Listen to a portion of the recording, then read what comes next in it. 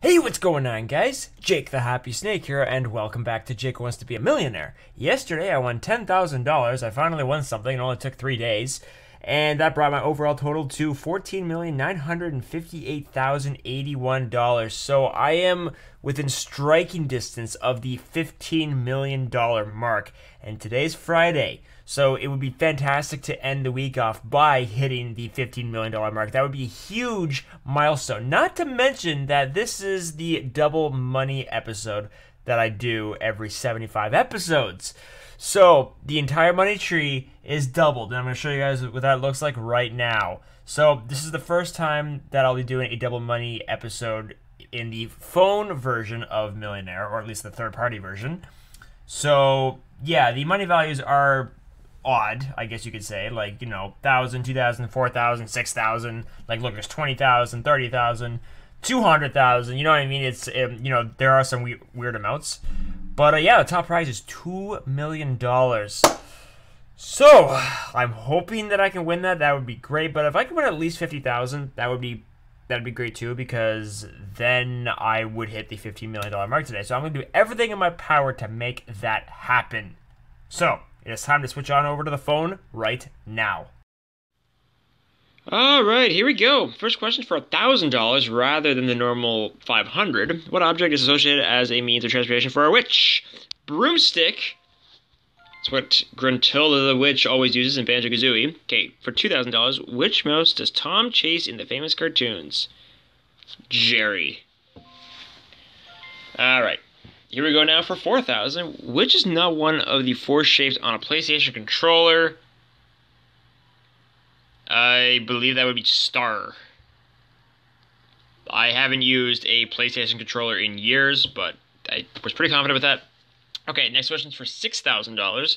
What is placed on the back of a horse to make it ride easier? Uh, saddle. I mean, cowboy seat might make sense, but anyways, okay, here we go now for ten thousand dollars. This is the first guaranteed level of the game. Which country was not included in the First World War? I'm not good with history. I want to say China, so we're gonna go with China. Yes. Okay. Whew. Ten thousand dollars guaranteed. I got all the lifelines. That's good. Um. Okay, sorry about that random cut. Um, believe me, I did not look at the answer, but I think it's the amount of stars that are on the flag have to do with the state. So I'm gonna go with 50. Yes. Okay, fifteen thousand dollars. Good. We got all the lifelines. For twenty thousand, what soft drink brand was the first to use Santa Claus in advertising?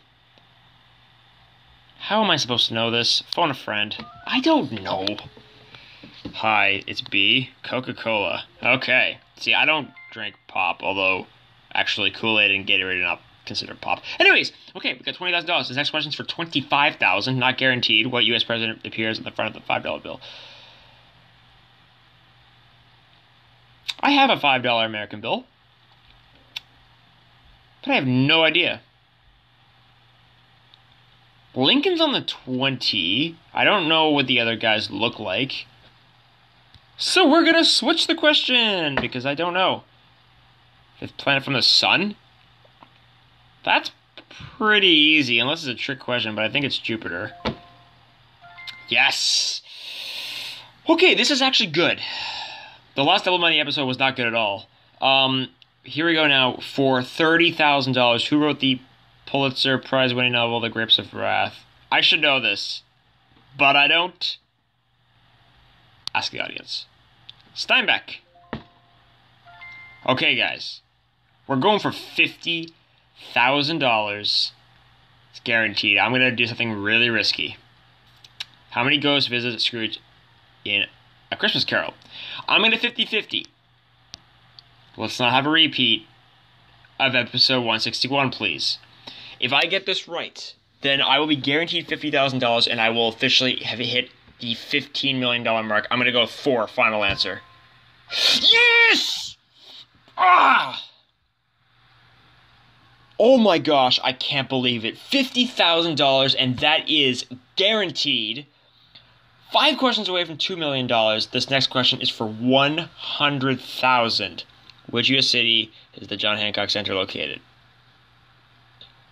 I'm gonna guess and say Cleveland because I really have no idea. Ah, Chicago. But you know what? Fifty thousand dollars. I mean, it's no. Keep in mind, it's doubled. So that would normally be fifty thousand. But anyways, that is fantastic. Okay, so I did exactly what I wanted to do. I won $50,000. I mean, I would have preferred to win more, of course, but I mean, $50,000 just barely put me over the $15 million mark. That is a huge milestone.